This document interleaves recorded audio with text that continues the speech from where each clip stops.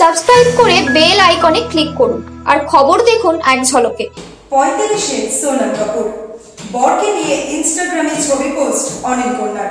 এই সম্পর্কে জেনে নিতে অবশ্যই দেখুন পুরো ভিডিওটি। এক ঝলক নিউজ বাংলায়, আমি প্রত্যুষা আপনাদের সঙ্গে। লকডাউনের ঠেলায় প্রায় দু মাস ধরে শ্বশুরবাড়িতে বন্দি অনিল কন্যা সোনাম কাপুর।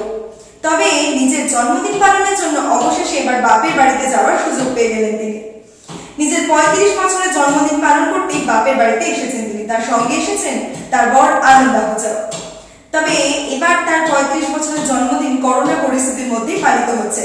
তবে তার মধ্যে কিন্তু জমজমার জন্মদিনের আনন্দে মেতে উঠলেন সোনাম এবং তার বর আনন্দ আহুজা এছাড়াও কাপুর পরিবারের অন্যান্য সদস্যরা।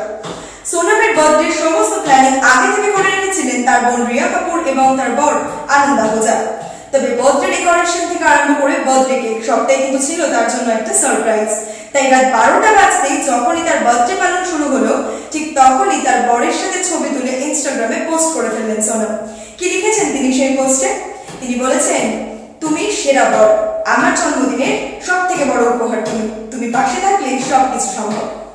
এরকম আরও তথ্য ফিচার এবং নিউজ জানতে চোখ রাখুন এক ঝলক নিউজ বাংলায়। চ্যানেলটি সাবস্ক্রাইব করে বেল আইকনে ক্লিক করে আমাদের সঙ্গে থাকুন।